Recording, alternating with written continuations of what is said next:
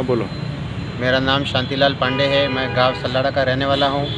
हमारे साथ हसमुख प्रेमशंकर, देवीलाल, उमेदराम और नानूराम, पाँच छः व्यक्तियों ने मिलकर सारे गाँव में एक स्कीम चली है, सरकारी आपको विदेश ले जाने के बहाने। इसके कहने से लाखों रुपए गाँव वालों से वसूल कर लिए।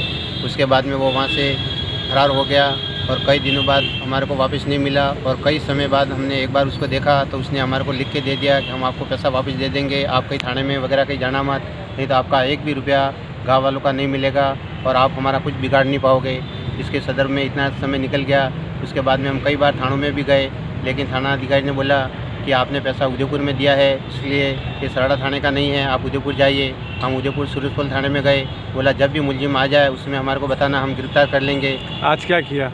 उसके बाद में हम पुलिस अधीक्षक महोदय उदयपुर को समक्ष पंद्रह तारीख को पेश हुए तो उनने सूरजपल थाना को आदेश दिए कि मुकदमा दर्ज करके जल्दी से जल्दी आरोपी को गिरफ़्तार कर ले। लेकिन हमारे को पुलिस ने सूरजपल थाना बुलाया, हम सूरजपल थाना आए तो एस एस साहब ने बोला कि ये कार्रवाई थोड़ी लंबित हो रही है और आप यहाँ नहीं हो पा रही है, इसलिए हम वापस महानिरीक्षक पुलिस महोदय उदयपुर पास समक्ष हुए और यहाँ से आदेश किया है थाने को।